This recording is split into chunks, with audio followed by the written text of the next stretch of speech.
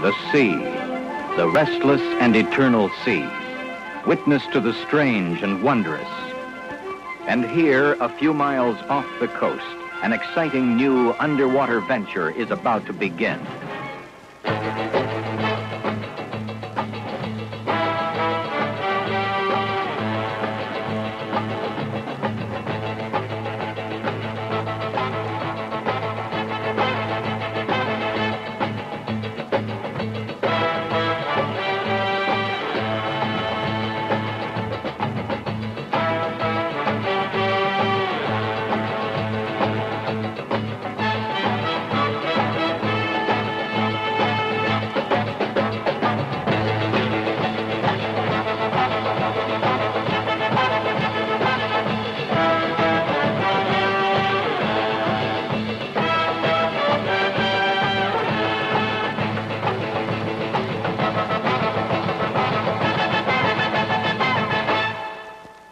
One of the most challenging engineering operations today is the laying of long-distance telephone cables beneath the sea.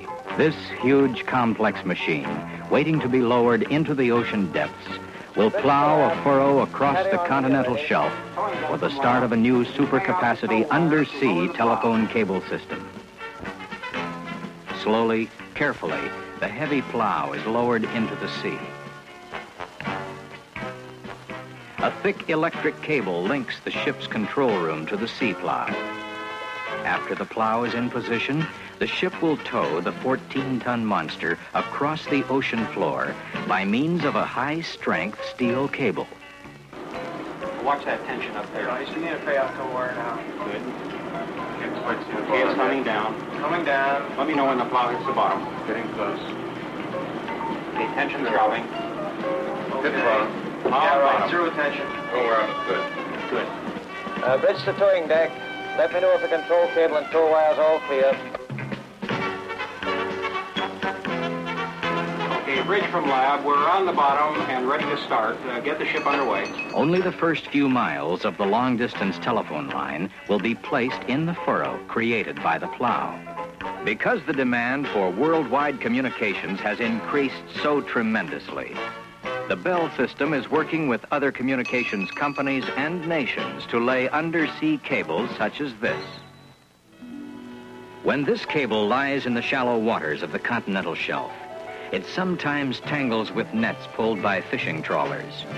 When this happens, cable is usually the loser. Such breaks are rare, but reliability in overseas communications is absolutely essential.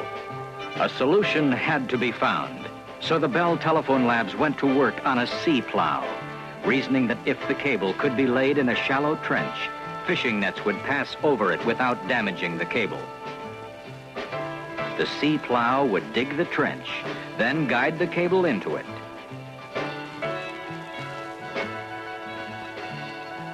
After rugged land and water tests, the plow was finally ready for sea duty. Television cameras and hydrophones mounted on the plow give eyes and ears to the engineers aboard the cable ship John Cabot. Okay. Tension building slowly.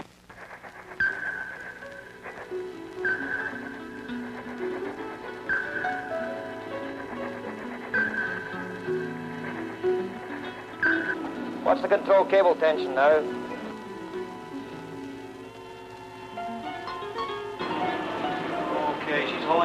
35,000 pounds.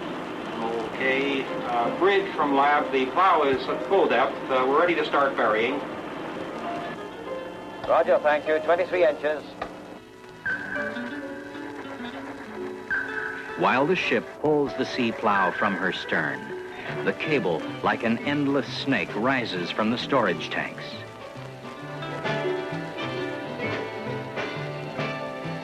At the bow of the ship, it's paid out, and some 20 fathoms down, enters the mouth of the sea plow. Telephone signals racing through the cable gradually lose their strength. So every 10 miles, 500-pound electronic amplifiers called repeaters give the signals a boost. At Clark, New Jersey, Western Electric fabricates transistorized repeaters in specially designed dust-free rooms. Here, more than 5,000 precision electronic parts are assembled with the same meticulous care as a space satellite. For the repeater must operate in crushing pressures, thousands of feet beneath the sea for at least 20 years. Repeater over the bow shield. Uh, roger. She's just on point seven just now. Uh, bridge to towing deck. Give me the lead in the control cable, please, at all times. Guiding the repeater through the plow is a highly critical phase of the operation. Bridge from lab. Here is approaching the bell mouth. Will you slow to one half knot? Uh, roger, lab. Slowing down now. First marker into the bell mouth. Took that, John. Yeah, bridge from lab. The first marker has entered the bell mouth. Entering bell mouth, roger.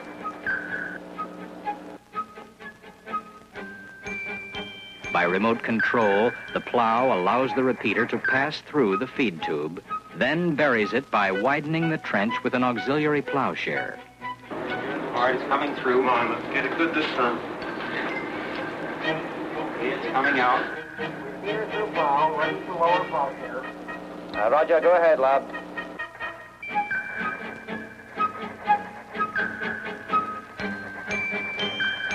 Roger, going down. Uh, roger, coming up in the speed. Bridge to towing deck. Watch your tension. The towing deck, roger. Both leads are good. The repeater safely through the plow, the ship continues burying the cable. Ocean currents immediately fill the trench with sand.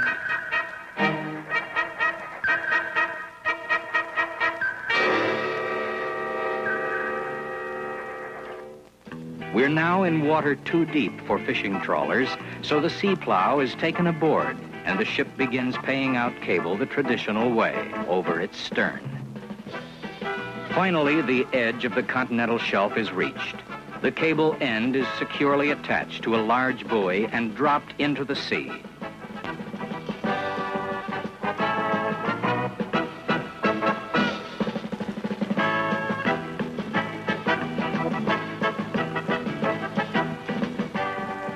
Another phase of the operation complete. Now the cable ship Long Lines takes over for the really deep sea work.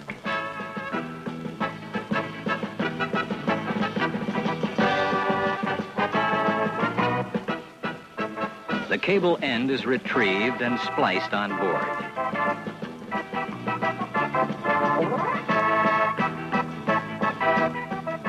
Now the ship starts its laying toward the far terminus of the cable, St. Thomas in the Virgin Islands.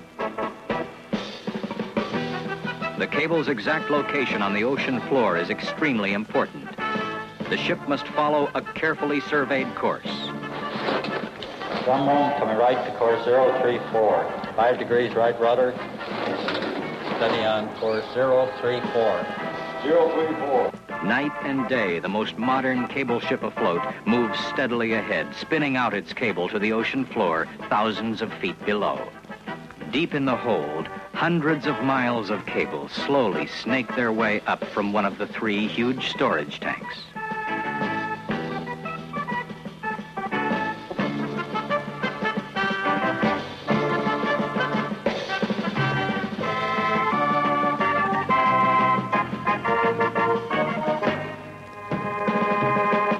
Again, the repeaters appear at 10-mile intervals. Repeater through linear cable engine. Mark.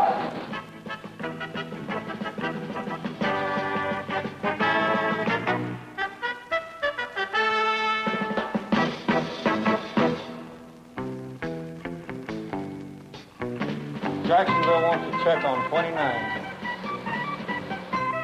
Tests are conducted continually through the cable between the ship and the shore.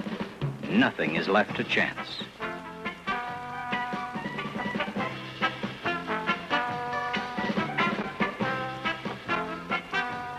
Test it okay. 54 KC, reading fine. 541 KC, okay. 29 okay, Jacksonville. I'll read you good. The laying continues for over 1,200 miles. until landfall is imminent. At St. Thomas, green emerald of the Caribbean, another phase of the operation is underway. Here, special steel armored cable is floated in from a ship to the beach. The other end is buoyed off in deep water. Arriving off St. Thomas, the long lines retrieves the cable and makes the final splice. On a hill overlooking the ocean, the St. Thomas Terminal.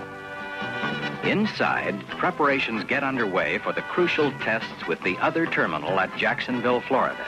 Meanwhile, the Jacksonville terminal makes its preparations. After weeks of work by hundreds of skilled people, the final test. Hello, St. Thomas. Come in, St. Thomas.